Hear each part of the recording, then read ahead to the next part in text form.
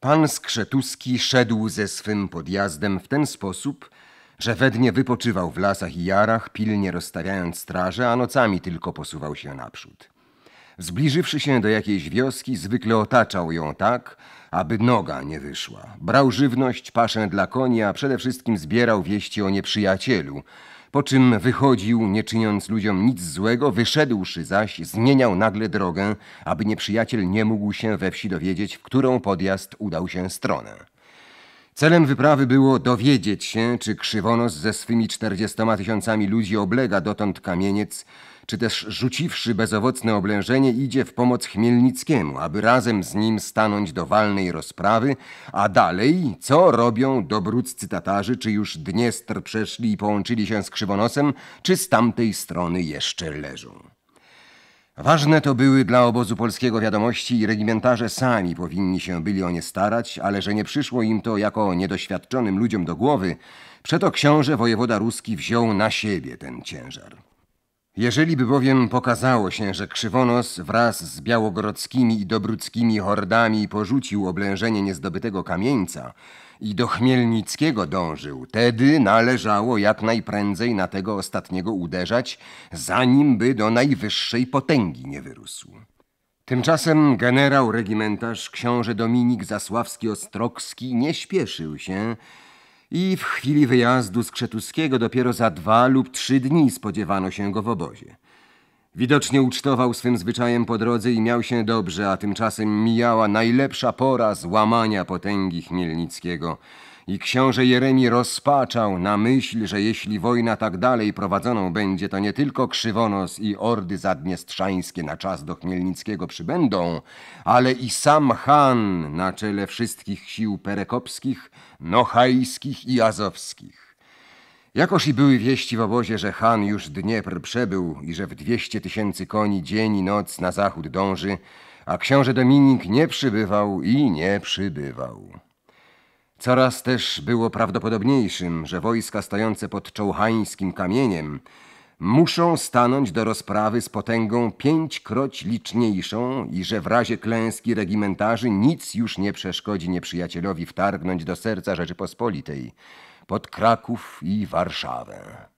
Krzywonos tym był niebezpieczniejszy, że na wypadek, gdyby regimentarze chcieli się posunąć w głąb Ukrainy, on, idąc spod kamieńca wprost na północ, aż pod Konstantynów, mógł im zagrodzić odwrót, a w każdym razie wówczas byliby wzięci we dwa ognie.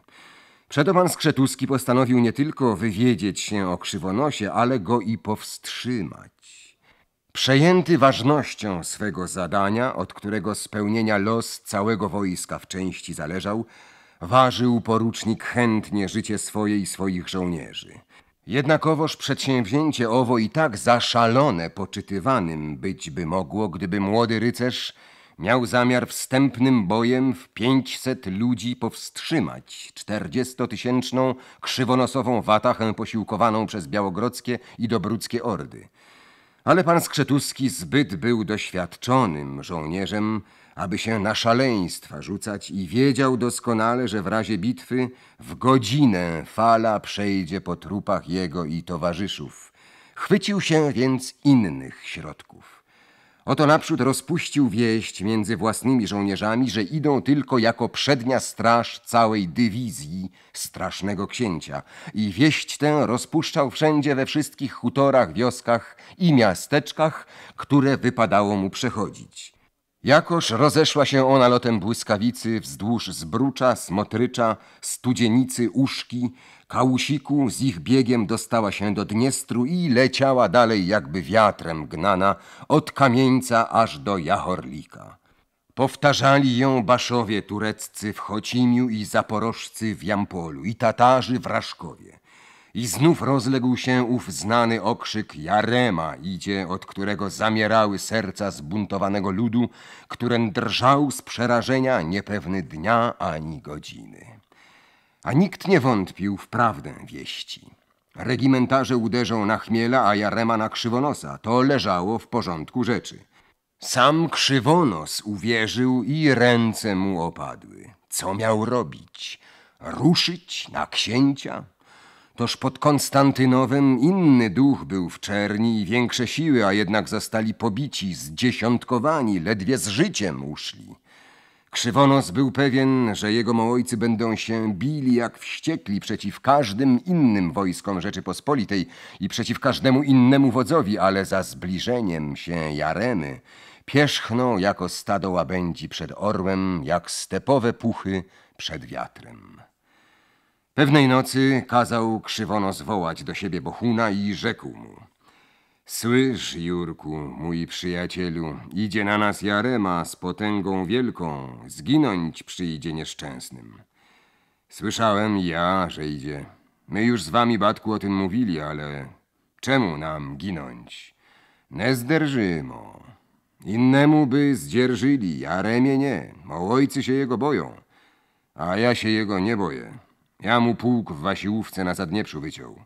Wiem ja to, że ty się jego nie boisz. Twoja sława kozacka, mołojecka warta jego kniaziowej, ale ja mu bitwy dać nie mogę, bo mołojcy nie zechcą. Przypomnij, co na radzie mówili, jako się na mnie do szabel i kiścieni rzucali, że ich na rzeź chcę prowadzić. To idźmy do chmiela, tam zażyjemy krwi i zdobyczy. Mówią, że chmiel już od regimentarzy pobit. Temu ja nie wierzę, ojcze Maksymie. Chmiel lis bez Tatarów nie uderzy na Lachów. Tak i ja myślę, ale trzeba wiedzieć. Wtedy by my wrażego Jaremę obeszli i z chmielem się połączyli, ale trzeba wiedzieć. Ot, żeby się kto Jaremy nie bał, a z podjazdem poszedł i języka porwał, ja bym mu czapkę czerwonych złotych nasypał. Ja pójdę, ojcze Maksymie, nie czerwonych szukać, ale sławy kozackiej, mołojeckiej. Ty drugi po mnie ataman, a ty chcesz iść? Będziesz ty jeszcze pierwszym atamanem nad kozakami, nad dobrymi mołojcami, bo ty się Jaremy nie boisz. Idźże ty, sokole, a potem czego chcesz, żądaj. No, ja ci powiem, żeby ty nie poszedł, to ja by poszedł sam, ale mnie nie można. Nie można. Bo jakbyście wy, ojcze, wyszli, tak by ojcy krzyknęli, że hołowu spasajte i rozlecieliby się na cały świat. A jak ja pójdę, takim serca przybędzie. A siła komunika ci dać. Nie wezmę ja dużo, z małą watachą łatwiej się ukryć i podejść, ale z pięciuset dobrych mołojców dajcie, a już moja głowa, że wam języków przywiozę i nie pocztowych, ale towarzyszów, od których się wszystkiego dowiecie. Jedźże zaraz. Z kamieńca już z dział biją na radość i na spasanie lacham, a na pochybel nam, niewinnym. Bohun odszedł i zaraz jął gotować się do drogi. Ojcy jego, jako nieodmiennie bywało w takich okazjach, pili na zabój, nim śmierć matka przytuli. On zaś pił z nimi, aż parskał gorzałką, szalał, hulał, następnie kazał beczkę dziegciu zatoczyć i jak był w altem basach i sajetach, rzucił się w nią we wszystkim, zanurzył się raz, drugi wraz z głową i wykrzyknął – Czarny ja teraz jak noc, matka, lackie oczy nie dojrzą. I wytarzawszy się na perskich kobiercach zdobycznych, skoczył na koń i pojechał. A za nim poczłapali śród pomroki nocnej wierni mołojcy, przeprowadzani okrzykiem na sławu, na szczastie. Tymczasem pan Skrzetuski dotarł już do Jarmoliniec. Tam, trafiwszy na opór, sprawił krwawy chrzest mieszczanom i zapowiedziawszy, że nazajutrz kniaź Jarema nadejdzie, dał odpoczynek strudzonym koniom i żołnierzom. Po czym, zebrawszy na naradę towarzyszów, rzekł im Dotąd Bóg nam szczęści. Miarkuję też po terrorze, jaki chłopstwo ogarnia, iż zgoła mają nas za przednią straż książęcą i wierzą, że cała potęga idzie za nami. Ale musimy pomyśleć, aby się zaś nie obaczyli, widząc, iż jedna kupa wszędzie chodzi. Trzeba nam więcej kraju zająć, aby w kilku miejscach naraz o nas wiedziano. Tu i ówdzie opornych wyciąć, by się groza rozniosła, a wszędy wieści puszczać, dlatego mniemam, iż wypadnie nam się rozdzielić. Tak i ja mniemam, rzecze Wołodyjowski, będziem im się w oczach mnożyć i ci, co uciekną do krzywonosa, o krociach będą gadali. Mości poruczniku, wasz mość tu wodzem, tedy rozporządź, rzekł podbipięta. Pójdę ja na zinków ku sołotkowcom, a jak będę mógł, to dalej, mówi Skrzetuski.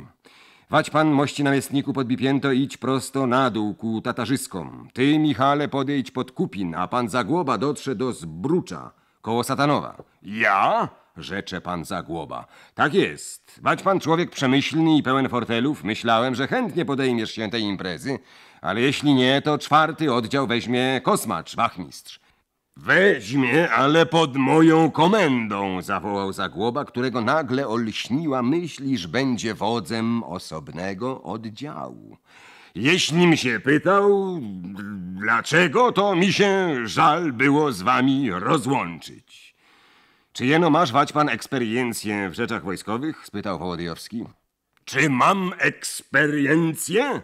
Jeszcze żaden bocian nie myślał o tym, aby zwaści prezent ojcu i matce zrobić, gdym ja już większe podjazdy jako ten cały jest wodził. Wiek życia w wojsku przesłużyłem i dotąd bym służył, gdyby nie to, ż- że jak mnie raz spleśniały suchar w brzuchu stanął, to mi trzy lata siedział.